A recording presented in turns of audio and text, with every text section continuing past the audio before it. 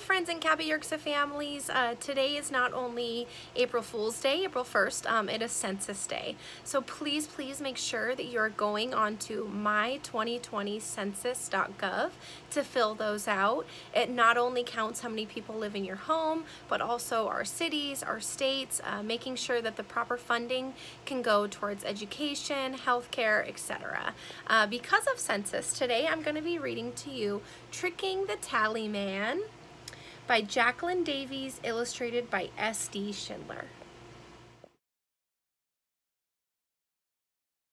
How many people live in your house? How many people live on your street? Could you count them all? What if you had to count everyone in your whole city or town? Could you do that? How? There was a time when the United States was a brand new country with a brand new government. In order to make laws that were strong and fair, the government needed to know how many people were living in each part of the country. So in 1790, it sent out 650 marshals to tally, that means count, the people, all the people. Without computers, cars, and calculators, these men sent out on horseback to count every single person living in the United States. How did they do it? Well, see that fellow over there, the one who's drooping in his saddle? Take a closer look, dear reader, because he is a tallyman, brave and determined to get his count, a rather tricky task, as you're about to discover. When Phineas Bump rode into the town of Tunbridge, he was heartsick, saddle sore, and down on his luck.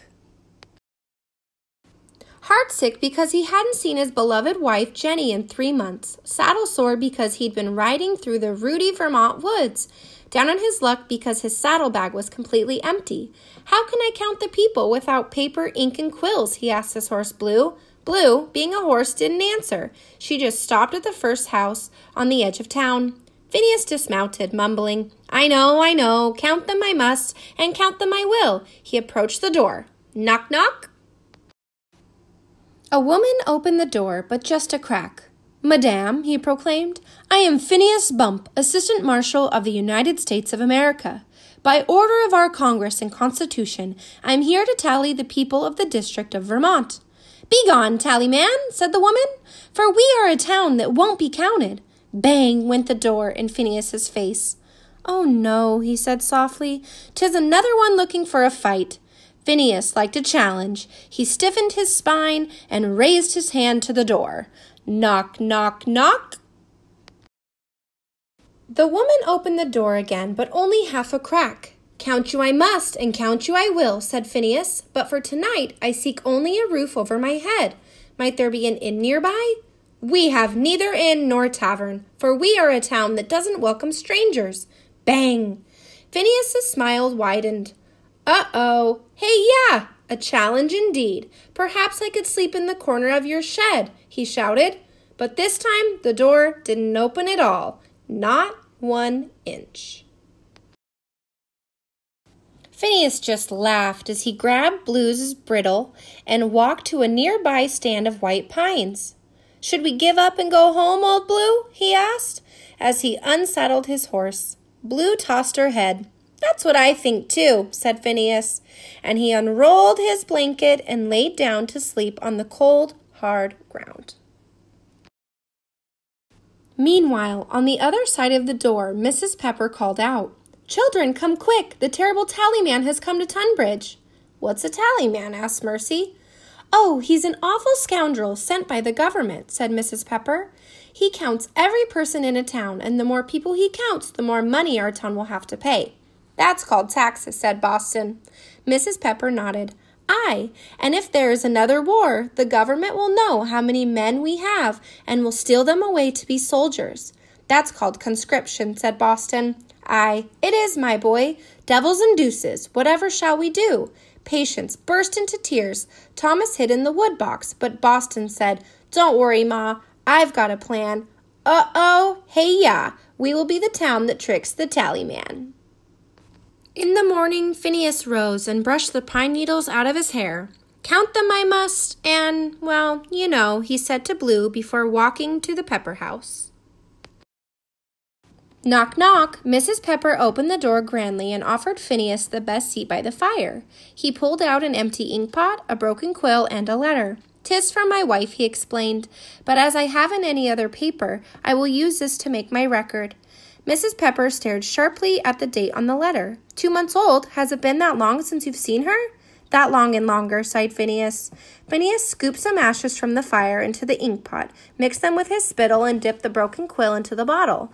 Then, in the margin of the letter, Phineas carefully wrote Tunbridge, October 18th, 1790. He turned to Mrs. Pepper. Madame, your name? Sarah Pepper. Your husband is. Alas, gone, she said, clasping her hands and looking heavenward. My condolences, Widow Pepper. And how many children have you? Not a one. Phineas looked up. I count three mattresses, a jack bed with a trundle, and a cradle. Oh, but they are not for children, Mrs. Pepper explained. Phineas sighed. I will mark but one, he said. One free white female, thus counted.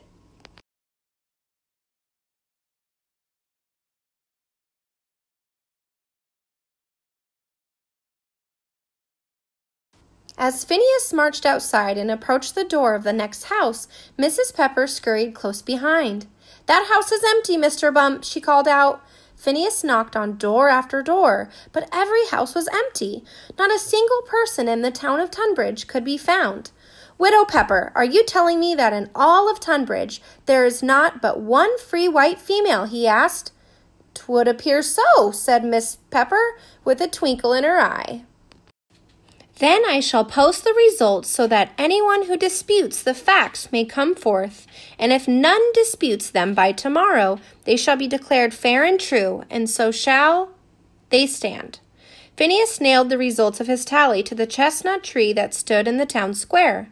Blue, he said, today I have been played for a fool, but tomorrow we shall see who has the last laugh. At that very moment, Boston Pepper came running in. Ma, Ma, he shouted, I've been to the next town over, and it's not for taxes or soldiers. He's counting the people. It's to figure out how many men we send to the new government. What do you mean? said Mrs. Pepper. The more people he counts, the more men we'll send to the new government in Philadelphia. The more men we send, the more votes we get. And that's how we'll get the things we need, like good roads and regular mail delivery. Carp and cod, exclaimed Mrs. Pepper. We must trick the tallyman into counting us again. But how? Don't worry, Ma, said Boston. I've got a plan.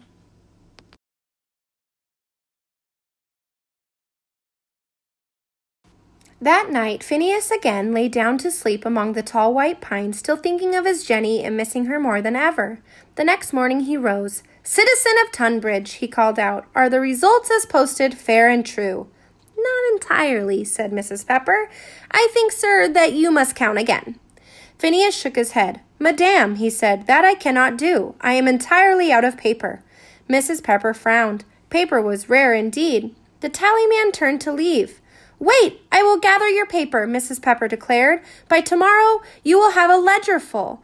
Then she added in a whisper, a thin ledger full. Phineas shook his head again. But, madame, he said, I have neither quills nor ink.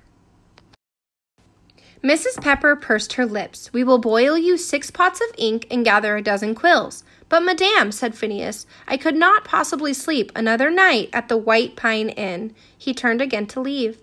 Mrs. Pepper squinted. Constance devotion runs in ordinary. You must stay there free of charge. Oh, but madame, said Phineas, with a twinkle in his eye, I'm afraid I'm not fit to be seen in such a fine place. My cloak, you see. Mrs. Pepper held out her hand. Give it to me, Tallyman. I will mend it myself. Phineas breakfasted that day on frumenty and mutton chops, dined on beefsteaks and baked beans, and supped on bread and butter and beer. He slept in a feather bed, and in the morning his cloak was better than new.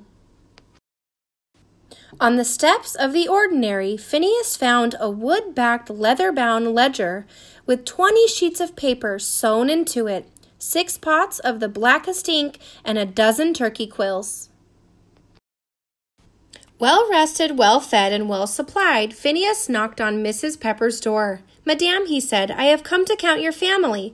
Of course, of course, Mr. Bump. Do come in. Please meet my er, recently returned husband, Mr. Samuel Pepper. And with him, said Mrs. Pepper with a wave of her arm, my fifteen children. Seventeen souls under one roof, said Phineas.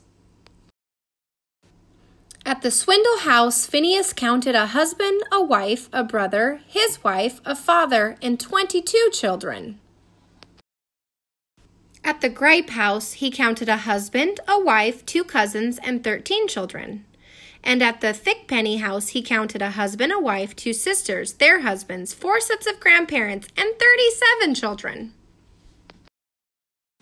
By sunset, Phineas had counted 1,726 people. He nailed the results to the chestnut tree. Citizens and animals of Tunbridge, he announced, I have posted the results of my tally. If none disputes them by tomorrow, they shall be declared fair and true, and so shall they stand. Then he walked through the evening gloom to his room at the ordinary, grumbling, "'Tis a tally, not worth the paper it is written on." Just then, Boston came bursting through the door of the Pepper house. Ma, he called, I've been talking to a stranger who's passing through, and he says the counting is for taxes and soldiers. Heaven help us! And for sending men to represent us in the new government. Both? asked Mrs. Pepper. Both, answered Boston. Cheese and chowder, said Mrs. Pepper. She pressed her hands to her temples. If the tallyman's count is high, we will owe too much in taxes and soldiers. If the tallyman's count is low, we will have a weak voice in the new government. Who thought of this method? The men who wrote the Constitution, said Boston. Clever devils they be, shouted Mrs. Pepper. Oh, Boston, what is your plan now? Boston paced the floor and tapped his forehead. He pulled his hair. He rubbed his nose. He picked up the fire poker and waved it about. Mother, he finally said, I'm working on it. The next morning, Phineas slept late. The cows were milked and grazing on the common by the time he had packed up and saddled Old Blue. As Phineas and Blue approached the chestnut tree, he called out, Citizens of Tunbridge, are the results as posted fair and true? Not entirely, said Mrs. Pepper. I think, sir, that you must count again. Madame Pepper, shouted Phineas, I have been away from my dearest wife for three months. I will not stay in Tunbridge even one more day. Boston pushed his way through the crowd. Sir, if you will but count us one more time, I shall deliver to you a letter from your wife. Impossible, declared Phineas. I promise it, declared Boston. Phineas stared at Boston. Then I will count, he said. One more time. And so Phineas walked from house to house. By evening, he had counted 487 people. He nailed the results to the old chestnut tree and called out, Citizens of Tunbridge, I ask you now, are the results as posted fair and true? Boston Pepper stepped forward. Fair and true they are, good sir. Then he pulled a letter from behind his back and handed it to Phineas. The postal rider came through early this morning. He's been asking for a Mr. Phineas Bump through half the towns in Vermont. Phineas broke the seal on the letter and read Jenny's words.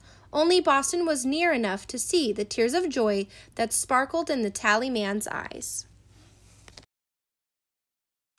Phineas folded the letter and coughed once. My dear Jenny is well, he said stiffly, and she sends news. We are to have a child in the spring. Boston turned to the shuttered houses and yelled, His dear Jenny is well, and they will have a child come spring. A loud huzzah rose up from the town, and the people spilled out into the square. You know, Mr. Bump, said Boston, I would have given you the letter even if you'd refused to count. And I, young man, would have counted you even without this letter. Then he raised his hand solemnly and said, For count you I must, and count you I did. And now my job is well, and verily done entirely. And so Phineas Bump rode out of the town of Tunbridge, no longer heartsick, saddle sore, or down on his luck. Many more weeks of counting lay ahead of him, but now he traveled with a far lighter heart. Mrs. Pepper and Boston watched as Phineas rode into the Vermont woods. Ah, Boston, said Mrs. Pepper, I guess we are not the town that tricked the tallyman after all. Sure we are, Ma, said Boston. We're the town that tricked the tallyman twice. But then he winked at his mother. We decided 'twas better to be fair and true, and so we were entirely. Well, there you have it. That's how Phineas counted the town of Tunbridge. For yourself, just remember, go to my2020census.gov. It provides us with a voice in Washington, D.C. and any extra funding for your state. So please, please sign that. Have a great day, you guys.